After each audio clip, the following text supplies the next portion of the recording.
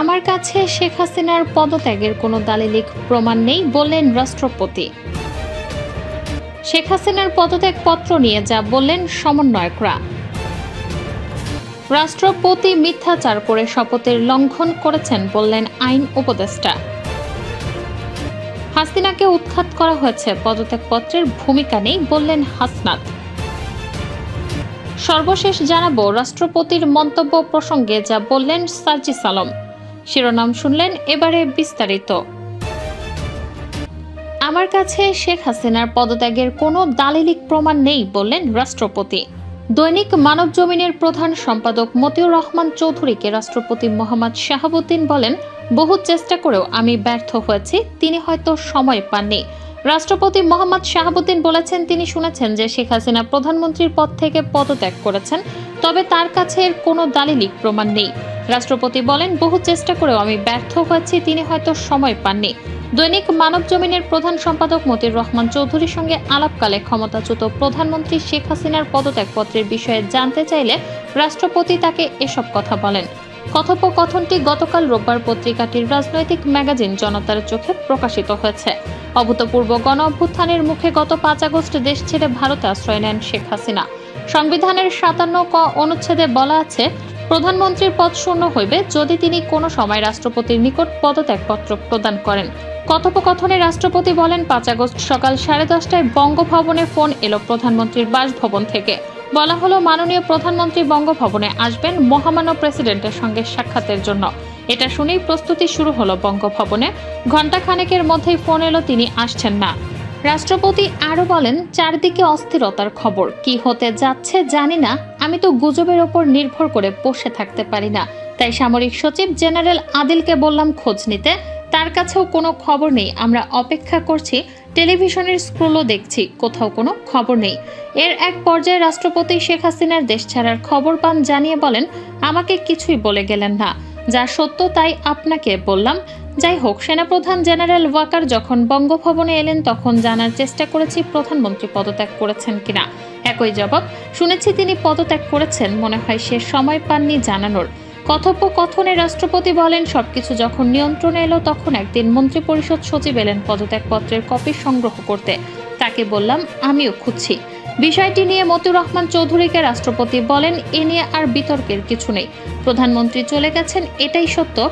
তারপরও কখনো যাতে প্রশ্ন না ওঠে, সেজন্য সুপ্রিম কোর্টের মতামত নিয়েছি। তার পাঠানো রেফারেন্সের পরিপ্রেক্ষিতে গত আট আগস্ট তৎকালীন প্রধান বিচারপতি ওবায়দুল হাসানের নেতৃত্বাধীন আপিল বিভাগে মতামত দেন। এতে বলা হয়, সাংবিধানিক শূন্যতা দূর করতে এবং নির্বাহী বিভাগ সুষ্ঠুভাবে পরিচালনার জন্য একটি অন্তর্বর্তীকালীন সরকার গঠন করা যেতে পারে এবং প্রেসিডেন্টকে অন্তর্বর্তীকালীন সরকারের প্রধান উপদেষ্টা ও অন্যান্য উপদেষ্টাদের শপথ গ্রহণের অনুমতি দেওয়া যেতে পারে। শেখ হাসিনার পদত্যাগ পত্র নিয়ে যা বললেন সমন্বয়করা।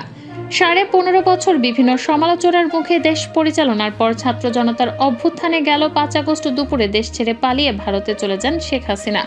বর্তমানে তিনি সে দেশেই অবস্থান করছেন।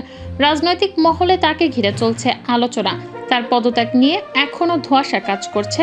এর কারণ শেখ হাসিনা নিজেই। তিনি কিছুদিন আগে গণমাধ্যম ও রাজনৈতিক নেতাকর্মীদের জানিয়েছেন যে তিনি পদত্যাগ করেননি। যে কোনো সময় চট করে বাংলাদেশে ঢুকে পড়বেন। এরপর মানুষের মনে প্রশ্ন জেগেছে, সাবেক একনায়ক হাসিনা সত্যি কি পদত্যাগ করেছেন? একদিকে গত উনিশ অক্টোবর রাষ্ট্রপতি একটি দৈনিক পত্রিকার সাংবাদিককে জানিয়েছেন, শেখ হাসিনার পদত্যাগের বিষয়ে তার কাছে কোনো দালিলিক প্রমাণ নেই। তবে শেখ হাসিনা ভারত পালিয়ে যাওয়ার পর পাঁচ আগস্ট রাতে জাতির উদ্দেশ্যে দেয়া ভাষণে রাষ্ট্রপতি তিন বাহিনীর প্রধানদের সামনে রেখে বলেছিলেন, প্রধানমন্ত্রী শেখ হাসিনা রাষ্ট্রপতির কাছে পদত্যাগপত্র জমা দিয়েছেন এবং আমি তা গ্রহণ করেছি।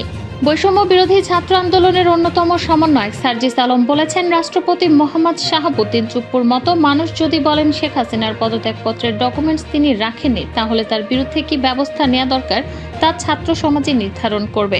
সার্জিস আলম আরও বলেন, ফ্যাসিস্ট সিস্টেম এখনও সরেনি।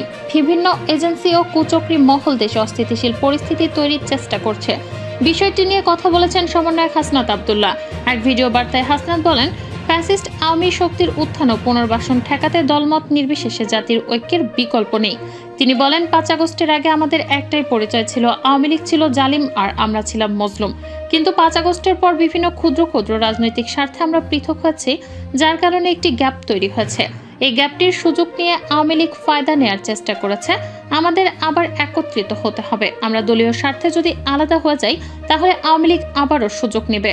বৈষম্য বিরোধী ছাত্র আন্দোলন রাষ্ট্রপতির বক্তব্য প্রত্যাখ্যান করেছে, উল্লেখ করে মাহিন বলেন, আমার অফিসিয়ালি দ্রুতই আমাদের প্রতিক্রিয়া জানাব। আজ বিকালেই দেশের বিভিন্ন ক্যাম্পাস এবং শহরে বিক্ষোভ হবে এবং বর্তমান রাষ্ট্রপতির পদত্যাগের দাবি আসবে। রাষ্ট্রপতি মিথ্যাচার করে শপথের লঙ্ঘন করেছেন বললেন আইন উপদেষ্টা। আইন বিচার ও সংসদ বিষয়ক উপদেষ্টা ডক্টর আসিফ নজরুল বলেছেন, সাবেক প্রধানমন্ত্রী শেখ হাসিনার পদত্যাগপত্র পাননি বলে রাষ্ট্রপতি মোহাম্মদ শাহাবুদ্দিন মিথ্যাচার করে শপথের লঙ্ঘন করেছেন। সোমবার একুশে অক্টোবর মন্ত্রণালয়ে সাংবাদিকদের কথা বলেন তিনি। ডক্টর আসিফ নজরুল বলেন, রাষ্ট্রপতি পদে তার থাকার যোগ্যতা আছে কিনা এ নিয়ে প্রশ্ন রয়েছে। উনি যদি তার বক্তব্যে অটল থাকেন, তাহলে বিষয়টি উপদেষ্টা পরিষদে যাবে এবং পরবর্তী সিদ্ধান্ত নেওয়া হবে। তিনি বলেন, সুপ্রিম কোর্টের বিচারপতিরা মতামত দিয়েছেন, রাষ্ট্রপতি সবিরোধিতা করেছেন, আর এ পদে থাকার তার অধিকার নেই। এর আগে শেখ হাসিনার পদত্যাগপত্র নিয়ে অনুসন্ধান করেছেন দৈনিক মানব জৈন পত্রিকার সম্পাদক মতিউর রহমান চৌধুরী। পত্রিকাটির রাজনৈতিক ম্যাগাজিন জনতার চোখে প্রকাশিত উনি তো কিছুই বলে গেলেন না, শীর্ষক প্রতিবেদনে তিনি তুলে ধরেছেন এর বিস্তারিত। গত পাঁচ আগস্ট ছাত্র আন্দোলন ও গণবিক্ষোভের মুখে দেশত্যাগ করেন শেখ হাসিনা। সংবিধানের সাতান্ন ক ধারা অনুযায়ী প্রধানমন্ত্রী পদত্যাগ করলে রাষ্ট্রপতির কাছে পদত্যাগপত্র জমা দিতে হবে। কিন্তু রাষ্ট্রপতি জানিয়েছেন, তার কাছে শেখ হাসিনার কোনো পদত্যাগপত্র বা সংশ্লিষ্ট কোনো প্রমাণ পৌঁছায়নি। হাসিনাকে উৎখাত করা হয়েছে, পদত্যাগপত্রের ভূমিকা নেই বললেন হাসনাত। সাবেক প্রধানমন্ত্রী শেখ হাসিনাকে জনগণ অভ্যুত্থানের মাধ্যমে উৎখাত করেছে, তাই তার পদত্যাগপত্রের কোনো ভূমিকা নেই বলে মন্তব্য করেছেন বৈষম্য বিরোধী ছাত্র আন্দোলনের অন্যতম সমন্বয়ক হাসনাত আবদুল্লাহ। সোমবার দুপুরে এক ফেসবুক পোস্টে তিনি এ মন্তব্য করেন। হাসনাত আবদুল্লাহ লিখেছেন হাসিনাকে উৎখাত করা হয়েছে। একটি অবৈধ সরকারকে জনগণ অভ্যুত্থানের মাধ্যমে উৎখাত করেছে। এখানে পদত্যাগপত্রের কোনো ভূমিকা নেই। দেড় ঘন্টায় ফেসবুক পোস্টটিতে আট হাজারেরও বেশি পাঠক মন্তব্য করেছেন। মোকলেসুর রহমান সাগর নামে একজন লিখেছেন, গণ অভ্যুত্থানে পদত্যাগপত্র লাগে না। মীর রূপক মিয়া লিখেছেন, হাসিনার পদত্যাগের কোনো তাৎপর্য নেই। সাদিক খান লিখেছেন, সহমত। তার পতন হয়েছে পদত্যাগপত্রে কি আসে যায়? রাষ্ট্রপতির মন্তব্য প্রসঙ্গে যা বললেন সার্জিস আলম বৈষম্য বিরোধী ছাত্র আন্দোলনের অন্যতম সমন্বয়ক সাজিস আলম বলেছেন, রাষ্ট্রপতি মোহাম্মদ শাহাবুদ্দিন চুপ্পুর মতো মানুষ যদি বলেন, শেখ হাসিনার পদত্যাগপত্রের ডকুমেন্টস তিনি রাখেননি, তাহলে তার বিরুদ্ধে কি ব্যবস্থা নেওয়া দরকার? তা ছাত্র সমাজই নির্ধারণ করবে। সোমবার একুশে অক্টোবর রাষ্ট্র সংস্কার নিয়ে ইসলামী আন্দোলন বাংলাদেশের গোল টেবিল আলোচনায় তিনি একথা বলেন। শেখ হাসিনার পদত্যাগপত্রের কোনো দালিলিক প্রমাণ নিজের কাছে নেই বলে রাষ্ট্রপতি মোহাম্মদ শাহাবুদ্দিনের করা মন্তব্যের পর একথা বলেন সার্জিস আলম। জাতীয় পার্টি প্রসঙ্গে সার্জিস বলেন, জাতীয় পার্টি হলো একটি বিবেকহীন দল। যারা ফ্যাসিস্ট আওয়ামী লীগকে সাপোর্ট দিয়েছে, তাদেরকে নিয়ে রাজনৈতিক টেবিলে আলোচনা করার যুক্তি নেই। সার্জিস আলম আরও বলেন ফ্যাসিস্ট সিস্টেম এখনও সরেনি। বিভিন্ন এজেন্সি ও কুচক্রি মহল দেশে অস্থিতিশীল পরিস্থিতি তৈরির চেষ্টা করছে, তাদের প্রতিহত করতে হবে। প্রয়োজনে আমরা আবার রাজপথে নামব।